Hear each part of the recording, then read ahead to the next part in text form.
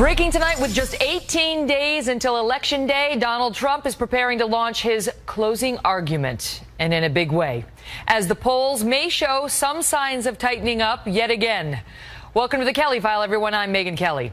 It's been a hectic few hours as the candidates make their final sprint toward Election Day. Hillary Clinton holding a single event in the battleground state of Ohio today, while Donald Trump managed three stops, holding one rally in North Carolina, two in Pennsylvania. Earlier today, he told the crowds he's leaving nothing to chance. Watch. I'm working harder too, folks. I, will, I am working harder. There's no doubt about it. I've got three stops today. We've got three of these today. We got three. We're going to do this for another 19 days. Right up until the actual vote of November 8th. And then I don't know what kind of shape I'm in, but I'll be happy, and at least I will have known Win, lose, or draw, and I'm almost sure if the people come out, we're going to win. But I will be.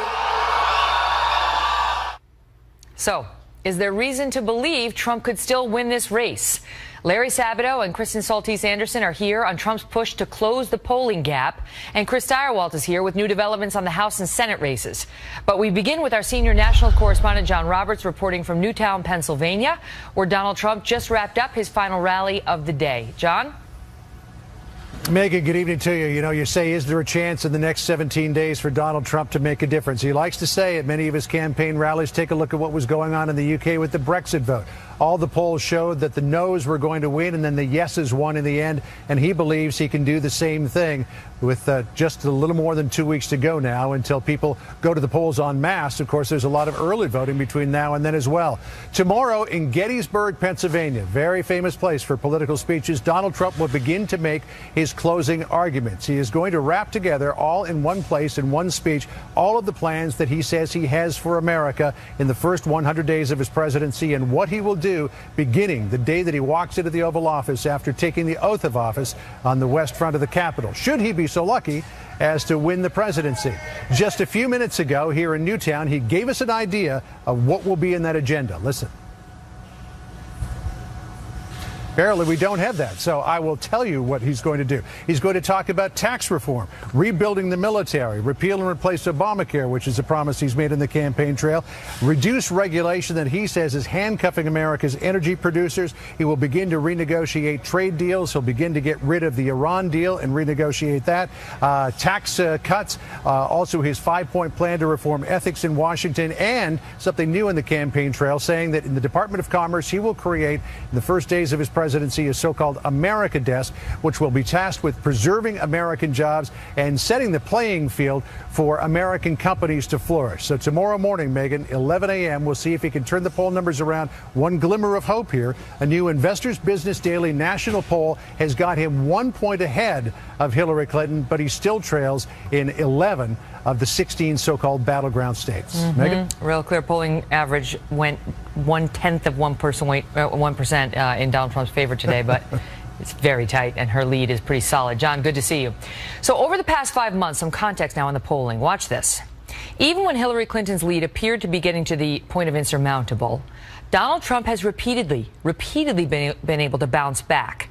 For example, in early May, he was down six and a half points, only to move ahead just two weeks later. It happened again over the summer. In late June, the businessman was trailing the former Secretary of State by nearly seven points. Four weeks later, just after the Republican National Convention, he was back in the lead. And it was a similar story at the end of August. He trailed by nearly six points. He had attacked the Khan family, all that nonsense after the Democrats' convention. Just over two weeks later, it was a dead heat. Today, Hillary Clinton is ahead by just over 6% in the Real Clear Politics average of all polls. And the question now is whether Trump can once again be the new comeback kid as we approach Election Day.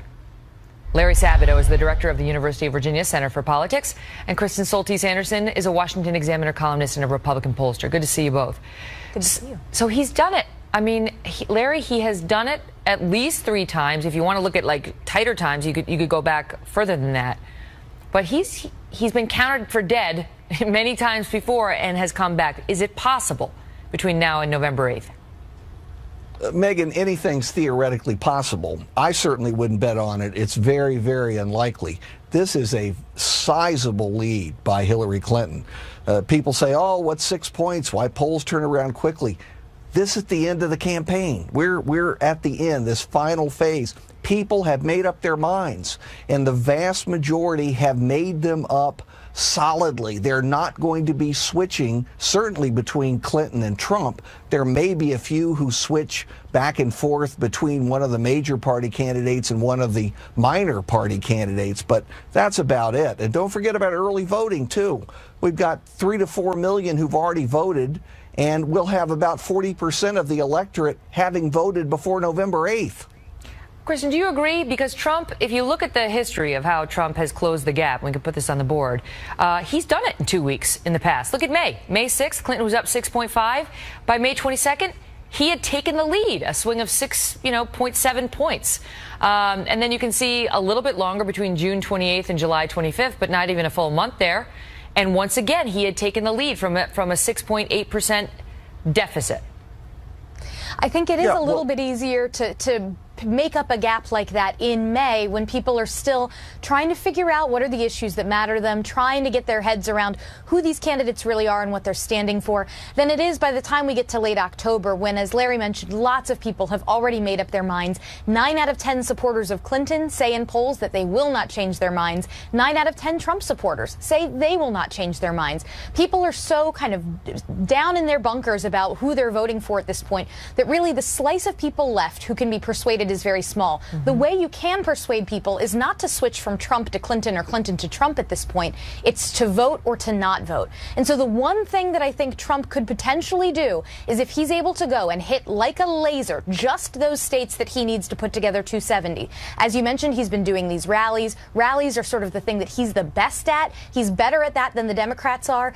But the thing that he's got working against him is that there's the Democratic machine. In the Republican primary, he was able to overcome the turnout operation operations of folks like Ted Cruz, but it's a whole different ballgame up against the Democratic turnout machine. And so he's got to really make sure that these rallies are turning out lots of people if he wants to energize his supporters enough to try to begin to make up this gap. Mm-hmm. But ultimately, I'm with Larry. I, I think that it's highly unlikely that he's able to pull it off. And if he does, he's got to focus like a laser on just the states he needs what about it, Larry? Because one of the times he managed to close that gap, uh, as we as we looked at that chart, was right after September 11th when she collapsed and when she physically collapsed, and then her polls collapsed collapsed.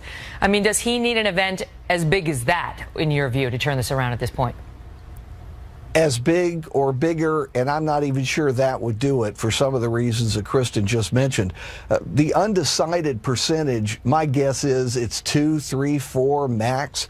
And from experience, we know that half of them won't vote. They don't show up. They're conflicted or they're not used to the voting procedures.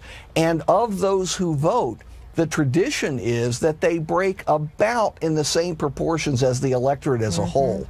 So no, I and I don't believe that people who are intending to vote are not going to vote at this point. I just don't buy it. So I have this question for both of you. I'm actually going to ask you of Larry first, though.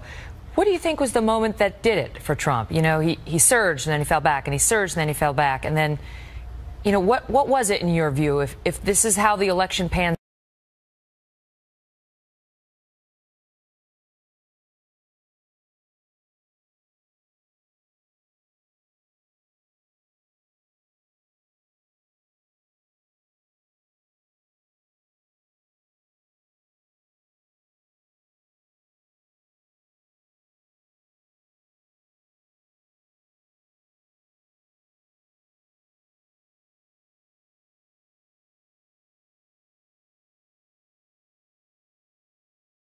whether or not he was going to acknowledge the vote uh, once it had been cast.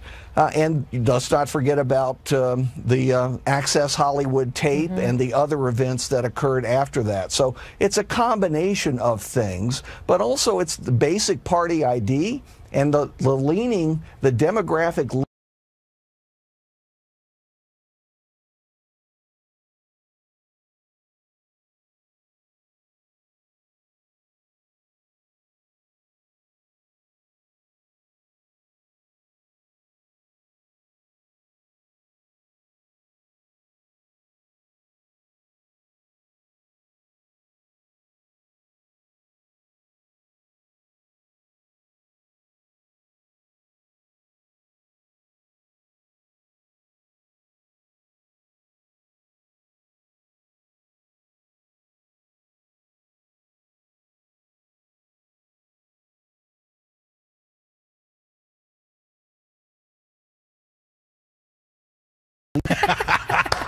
So proud of you, counselor. I never thought in all my days I'd get to hear you say that. They're Good getting a little worried about the down ballot situation. Not as much in the House as in the Senate, but in the House too. Is that a real fear? Yeah, uh, it's getting to be. So it basically goes like this. For the House, uh, it generally reflects what is happening at the top of the ticket. Uh, the Senate, as we've seen this time, individual Republican senators like Rob Portman in Ohio, Marco Rubio in Florida, have been able to rise dramatically above Trump's poll numbers and outperform him in those states. And so the Republicans are feeling more confident, interestingly enough, about their chances to limit the Democrats to fewer than four seats picked up and that they might be able to hold on to the Senate. But on the House side, you see much more correlation with the national popular presidential vote. And if that's the case, the Republicans have 30 seats of a majority. That looks like a great deal. But if things go all whopper jawed, if this if this falls apart, uh, then you could see that perhaps in danger.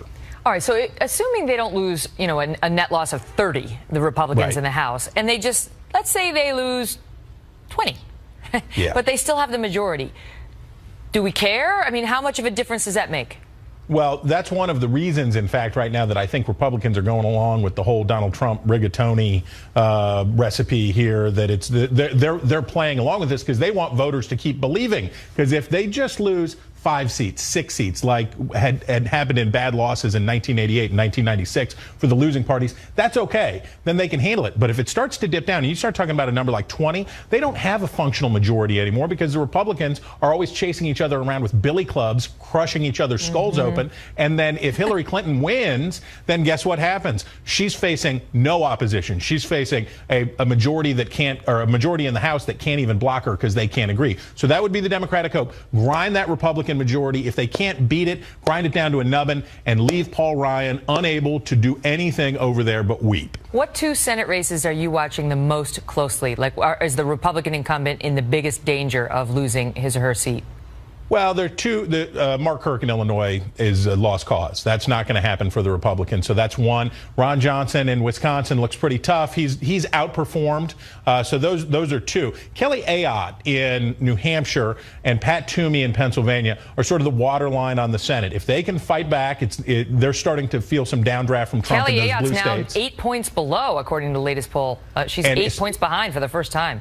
And and that's separate they're losing some of their separation in those blue states as democratic voters and persuadable moderates turn against trump so they got a problem up there so that's where i'd say the water line is new hampshire and pennsylvania Wow.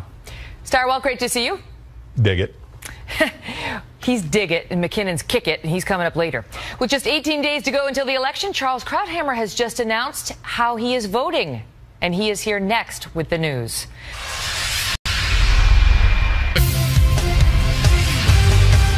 President can't just pop off or lash out irrationally. And I think we can all agree that someone who's roaming around at 3 a.m. tweeting should not have their fingers on the nuclear codes. We all know that if we let Hillary's opponent win this election, then we are sending a clear message to our kids. Everything they're seeing and hearing is perfectly okay. We are validating it. We are endorsing it. You do not keep American democracy in suspense. Because look, too many people have marched and protested and fought and died for this democracy. That was First Lady Michelle Obama and some of her remarks from a series of campaign trail appearances where she has hit Donald Trump as dangerous for the country. Tonight, for the first time, Mr. Trump is responding. We have a bunch of babies running our country, folks. We have a bunch of losers. They're losers. They're babies. We have a president. All he wants to do is campaign. His wife, all she wants to do is campaign. And I see how much his wife likes Hillary. But wasn't she the one that originally started the statement if you can't take care of your home, right? You can't take care of the White House or the country?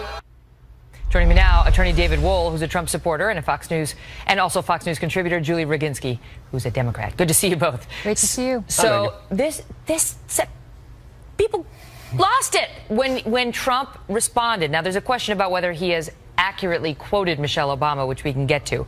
But let me just start with you, David, on the people who are like, "What is he doing? You don't attack Michelle Obama. She has huge approval ratings, which she does." don't go there, especially because you have a woman problem. Was he out of line? So she can launch a verbal barrage of verbal missiles at Mr. Trump, and he's supposed to just sit there and take it, I guess, Megyn. No, there's going to be blowback, as there always is. Look, she's a well spoken, brilliant woman. She's inserted herself into the political process on numerous occasions, and when she goes after Trump, he's going to hit back. Now, what Trump said, as I recall, it was referring sort of, at least in a double entendre way, regarding Bill Clinton's philandering and womanizing and the alleged sexual assaults. But let's assume that it wasn't. Let's assume she was. Uh, the, the, statements were regarding child care, Megyn. Just wait, and can, can you just the pause Obamas there, David, because I want to tell them what we're talking about. Let me let me just. Sure, no, you, so, I got it. So what she had said. Um, this is back uh, in 2007. Michelle Obama said, One of the things, the important aspects of this race is role modeling what good families should look like. And my view is that if you can't run your own house, you certainly can't run the White House. But then, apparently, she made similar comments on the stump in another appearance shortly thereafter, Julie, where she expanded and said, So we've adjusted our schedules to make sure that our girls are first. So while he's traveling around, I do day trips. Hence the confusion about whether she was initially at that first appearance taking a shot at Hillary or whether she's just trying to say, This is how Barack and I do it. Well, look, I mean, if you take her at her word as to what she was saying, you read the totality of her speech in Iowa, which I did. She was clearly talking about the fact that they were a new family to America. She was introducing herself and her husband to, to the American voter and talking about how they managed their family and talking about how they managed campaigning for president while being parents of two young girls. So, you know, let's let's put that aside. I actually agree with, with David to this point. She has he has every right to attack Michelle Obama. She's fair game. Of course she's fair game. She inserted herself, as David said. She talks about him. She says not so nice things about him. He's, of course, more than entitled to, to go get back at her. I don't think it's smart politics, but it's not unfair. Why? And, well, because for the following reason she is the most popular uh, public figure in the United States right now. She's a woman. He's got a woman problem. And more importantly, by going after her, it brings up what she has said about him. And she's not a messenger he wants to re engage because if we're looping over and over again, as we just did, her attacks on him, that's not good for Donald Trump. But the I thing is, David, you, you, tell me. I mean, we, we women do want to be treated equally. Trump gets into trouble when he starts, you know, calling us sexist names. But when he attacks a woman, not on the basis of any sort of women terms, if you will, but just you know, like I don't like her, or she's no, she's not smart, or she's what. That's fair game. We're, we're, he can attack mm-hmm. women, right? That's that is this, equality. Yeah. It, I mean, it's the major leagues. And let's assume that Michelle Obama was talking about putting her family first and politics second. I think the implication, Megyn, was that Hillary Clinton puts her political ambition first and raising Chelsea second. That's even worse than the implication of womanizing and philandering by Bill. So either way you look at it, it was bad. And this is Trump taking a shot at Hillary Clinton, not so much at, at M- Michelle Obama, because this is what Michelle said. There's no disputing that. Yeah, this but he a, was saying our country is being run by losers losers. We have a bunch of losers and babies running our country. And then he spoke well, about true. the president and the first lady political correctness has completely ruined things, Megyn, and that's his bottom line. And that's why he's saying it ain't going to happen anymore. And by the way, I don't, I don't agree with the naysayers in the first two segments. I really believe this volatile campaign is flipping. Watch what happens in the next couple weeks. Well, I'm just telling you. Go ahead, Julie. I'll just say this: that loser that he was alluding to won a presidential election two times in a row. And so that's something that Donald Trump is not going to be doing next month. So right, let's well. start with that. And secondly, nobody's ever said, the people have said horrible things about uh, Hillary Clinton. I've never heard anybody say she was a bad mother. That's a new one even for me, and I've heard it all thrown at her. So yeah. I don't know where you're getting that information about her and she's Chelsea. Had, she's had plenty. He's saying yeah. he's he's suggesting perhaps that's how Michelle mm. meant it, right? Don't don't know anyway, about that. Okay, great to see you both. Also tonight, newly leaked campaign emails raising tough new questions about the Clinton Foundation and what was behind a multi-million dollar donation from Morocco. Wait until you hear how much she got. And she promised them and in exchange for what? And how many favors is she going to owe if she gets into office? Plus, Charles Krauthammer is announcing how he's going to vote this year, right after this break. Well, this election year has seen more than its fair share of scandals, controversies, leaked emails, ugly videos like that. It's featured brutal debates, crazy conventions. And after all of that, after the nonstop drama we've seen every day for more than a year, new polling shows Donald Trump and Hillary Clinton are exactly where they were with the voters 10 months ago. when it comes to likability, 40% view Clinton positively, 29% view Trump that way, same way as it was almost a year ago. And the spread in the polls is exactly where it was a year ago as well. Nothing has changed. So, did anything that happened this year matter? Joining me now, Fox News contributor and nationally syndicated columnist Charles Krauthammer. Charles, good to see you. Did any of it matter? Well, in a sense, I think this has been one of the worst years for American democracy in general. It's been one of the lowest, uh, least elevating campaigns ever, and we have not been enriched or enlightened by it. I think the reason things are the same is because we've never had two candidates who were better known at the beginning. Name recognition way up there uh, in the, probably in the 90s before they started. In other words, people knew who they were, and character is destiny. We got a year of them on the stage, and they basically showed us their character, mm-hmm. which is what we thought it was at the beginning untrustworthy, uh, unfit in some cases, cynical, etc. And we are where we are. Nothing really has changed in that respect, other than we've reached uh, lows in tactics, in incivility that we really didn't think we'd ever see at the presidential level. Mm-hmm. And so you you find yourself in a similar place to where you've been all along as well. In in your column this week, saying you you still cannot vote for Donald Trump. We're two weeks out now from the election. You say you cannot do it, and you cannot vote for Hillary Clinton. So you're going to write somebody in. Who who are you going to write in, and why why do you think that's the best choice? Well, look, I, it's a question of conscience. The fact is, I cannot vote for Donald Trump. I thought that on the day he announced. I said it that night. I, I said on special report I didn't think he was even a serious candidate. I got that wrong about the fact that he wouldn't be a factor, but I think I got it right that he's unfit for the presidency, and I have never changed my mind on that. As to Hillary, the dilemma, I set it out in my column today in the Washington Post. Uh, she's a cynical politician with an empty core where her beliefs are supposed to be. To the extent she has them, it's conventional liberal. Uh, which I think is a threat to the Constitution. And you saw in the last debate where she said basically the point of the Supreme Court is to defend the little guy. The oath of office for a judge is to say that he does not explicitly they have to swear not to recognize rich or poor. This mm-hmm. is complete overturning of the point of the law. You know, right now, if you were just going to go by the polls, it would look like Hillary's going to win. You know, I mean, she's yeah. she's considerably ahead. Um, so what? I mean, what? What does the public do when someone who, you know, as you as you point out in your column, because you speak for a lot of people, and saying you find her campaign entirely soulless, all ambition and entitlement. It's emptiness at the core, you say in her, that makes every policy and position negotiable and politically calculable. And you've seen, you felt con- validated in those those beliefs by what you've seen in the WikiLeaks, which show a lot of soullessness, somebody who doesn't yeah. really have a core message.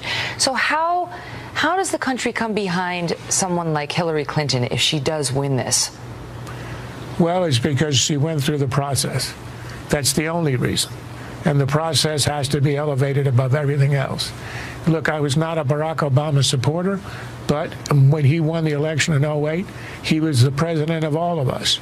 I've been very critical of him, but that's how you end up where you end up. I would have preferred first African American to have been a Condoleezza Rice or somebody else. Mm-hmm. And yet I felt a pride when he was sworn in that our country had come that far. So she's going to have to earn whatever she gets at the presidency, but she will, if she wins, she will have earned at least the respect of the office when she's there. So we're, going to leave the audience in suspense, and we'll have you back after Election Day to find out what you did. Charles, great to see you. And, and how I swayed the vote, yes. All the best.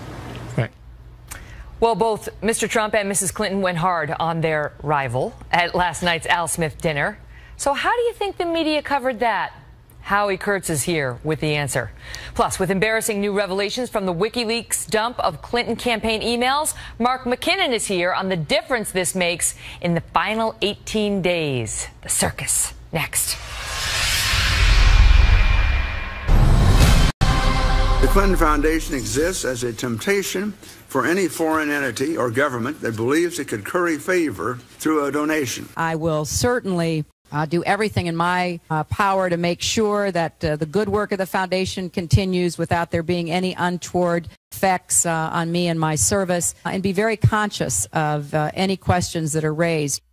Mm. That was Hillary Clinton at her Senate confirmation hearings in 2009, trying to calm concerns about any conflict of interest with her work at the Clinton Foundation. Now, some newly leaked emails are suggesting that there was reason for those concerns as we learn that she may have been personally responsible for securing a $12 million donation from the Moroccan royal family, although it appears to have come after her tenure as secretary. Our chief national correspondent, Ed Henry, joins us live. Ed? Good evening, Megyn. Hillary Clinton, in fact, did line up this big contribution from the king, according to her own close aide, Huma Abedin. She put this in a January 2015 email. She created this mess, she said, of Clinton, and she knows it. The mess referring to Clinton initially agreeing to speak at a May 2015 Clinton Global Initiative event in Morocco. Politico reported at the time a $1 million contribution was going to stoke more controversy, though, uh, and so they didn't want to do that event. It turns out the money was far bigger, 12 million bucks, according to Abedin, responding to top aides Robbie Mook and John Podesta, who were worried it would harm the April 2015 launch of the former Secretary of State's campaign. In a new email released today by WikiLeaks, Abedin was adamant, writing, "quote No matter what happens, she will be in Morocco hosting CGI on May 5th to the 7th, 2015. Her presence was a condition for the Moroccans to proceed, so there is no going back on this. It makes you wonder what the king was expecting in return beyond just access. Because in 2011, Clinton's State Department charged the Moroccan government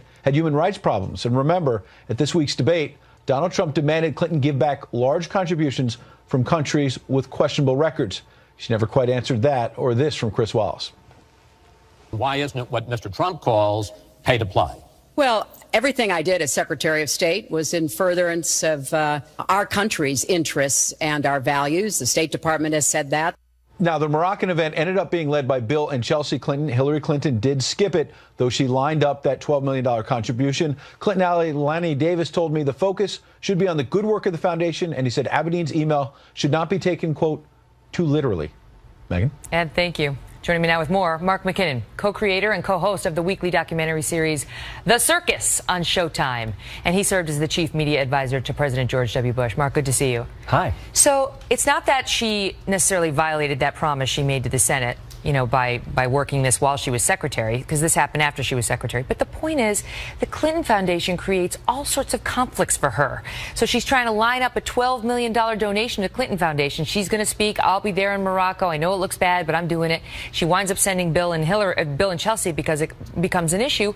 But what was the king expecting? And if she becomes president now, how many favors is this woman going to owe? And what, what about, they're not promising to shut down that, that foundation.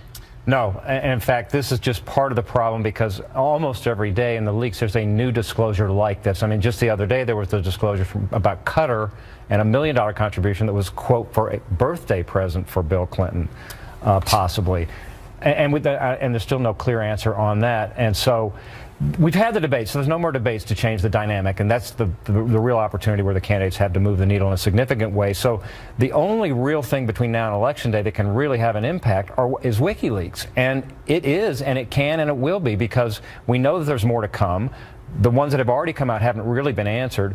If Donald Trump will simply get some message discipline and stay on this issue, mm. there's some real opportunity here. But let, let, I'll challenge you on that okay. because in Trump's defense, you know, he comes after the media hard, yeah. and some of it is whiny, and you know, it's, t- yeah. it's tough. It's tough to run yeah. for president. You get hit, but but some of it is legit because the, the story of WikiLeaks has been ignored in so many corners, all but ignored in most. Agree 100%. And that's why, for example, the, the title of the circus this week is From Russia with Love. It's going to be all on WikiLeaks. The whole program is going to be on WikiLeaks. We're, we're talking about we're looking at it from every angle. I know the you hit, up, you hit Harry Reid saying, "Hey, WikiLeaks," and of course it's all about like Russia's bad, Russia's yeah. bad. It's like, what about the fact that she called them needy Latinos? Right? Yeah. Like, they're nothing. No yeah. one seems. We're going to look at it. We talked to Tucker Carlson about how the mainstream media is doing exactly what you said. And NBC, you know, he he has 11 reporters on it every day, and NBC didn't say a word about it a week ago. So he's just a website. With all due respect to Tucker, that's what he right? said. No, yeah, that's, that's what he said. Point. I'm just like, a website, and I've got 11 people working right, on where's it. Where's the media? Because listen, if the media wants to shine a light on something, they can. Take, for example, the Access Access Hollywood tape, which was huge, there's no question.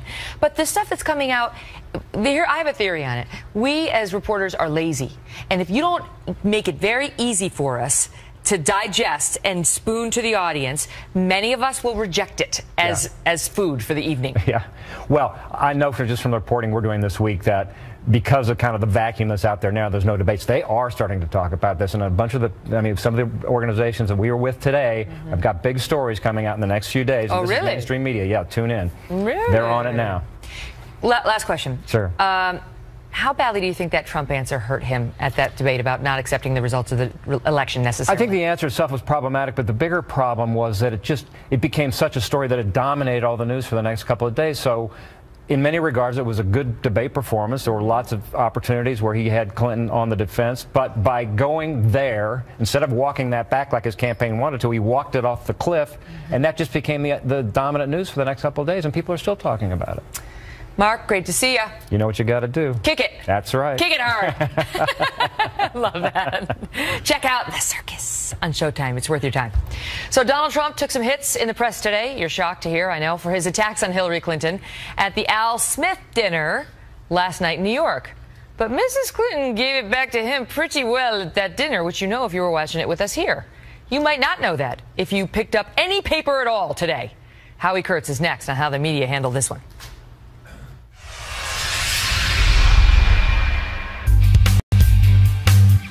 Hillary accidentally bumped into me, and she very civilly said, Pardon me.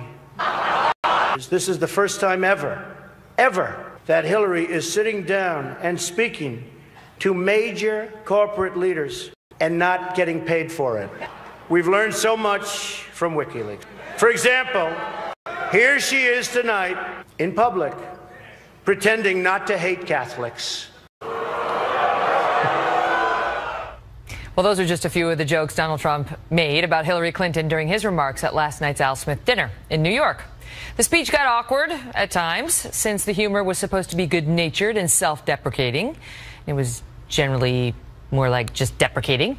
And here's a little of how Mrs. Clinton responded. I think the Cardinal is saying, I'm not eligible for sainthood. But getting through these three debates with Donald has to count as a miracle. People look at the Statue of Liberty and they see a proud symbol of our history as a nation of immigrants. Donald looks at the Statue of Liberty and sees a four. Maybe a five if she loses the torch and tablet and changes her hair. Donald really is as healthy as a horse. You know, the one Vladimir Putin rides around on. So while both candidates pulled no punches, the headline writers missed that. The New York Times focused on how Trump was heckled by the New York elite. Bloomberg seemed to think Trump's jokes struck a sour tone. Nothing about her in the headline. NPR declaring Trump turned a quote friendly roast into a three alarm fire. Mrs. Clinton, she pretty much got a pass, but there were lovely articles about how well she was dressed. Joining me now, host of Fox News Media Buzz, Howard Kurtz. Now, personally, I thought the Statue of Liberty joke was kind of funny. Uh, yeah. But the Putin joke with the horse, that was. Right, and there Not were so others much. where she she got pretty cutting to suggesting that Barack Obama wasn't going to get, get into any gathering uh, of Trump with former presidents because of his Muslim ban. Maybe it was that they're not good at delivering jokes, right? Like they they they're not funny. But you tell me whether this was biased coverage. Megyn, from watching the coverage over the last 24 hours, you would have the impression that Donald Trump walked into St. Patrick's Cathedral and spray painted the stained glass windows. Uh, you know, I didn't get to see it live and it's not a good thing when the Republican nominee gets booed at a Catholic charity dinner. Uh, and I didn't think him talking about joking, joking about Hillary hating Catholics was a good move, especially he's referring to some references in the hacked emails that were from Clinton advisors. But I, I, didn't know until I talked to people who were in the room that Hillary Clinton had some uncomfortable moments as well. Mm-hmm. Right, there was some booing of her. Although I will say we covered it live here on the Kelly File last night, and it was interesting because we, we put a pundit on camera right after he was done, who went after Trump, saying you're supposed to be self-deprecating. It's supposed to be about yourself. It's supposed to be kind of singe, don't burn, like the gridiron dinner. And then she got up, and the first thing I said after she was done was, and she did it too, right? But the, the, you, I mean, Howie, the media they're done with Trump. And I get it. Like they're they're frustrated. They think he's this. They think he's that. But it's not their job to try to ruin him. I think there is so much hostility in many quarters, cor- corners of the mainstream media against Donald Trump, and we see this in a thousand different ways. But it's also classic media behavior when a candidate is struggling and slipping in the polls, and this after the third debate in Las Vegas. Uh, every little misstep becomes a metaphor for how poorly he's doing. You know, uh, his limo got a flat tire, he's going nowhere, that sort of thing. But it's on steroids when it comes to Trump. And yet there's nothing he can do about it. And you tell me whether there's something big that comes out of WikiLeaks, whether that even that, whether that could be a potential game changer given that mindset. I think that as the drip, drip, drip of these WikiLeaks disclosures has happened, there's been a little bit more coverage than there was at the beginning uh, about the embarrassments for Hillary Clinton and her campaign. The problem is some of it's complicated. It takes a while to explain. Most of it, the exception of this latest one about the $12 million donation by the King of Morocco, doesn't involve Hillary Clinton personally. But more than any of that, Trump is always the story, and uh, the the coverage of him, most of it negative, but always he's always driving the story, um, blots out uh, what ordinarily would be very big disclosures by WikiLeaks against the Clinton campaign. Howie Kurtz, great to see you. We'll be right back. So, in the average of all polls, Trump is behind 6.2 percentage points right now. Do you believe he can turn it around in the next 18 days? Facebook.com slash the Kelly File on Twitter at Megyn Kelly. Let me know what you think. Thanks for watching. Good night.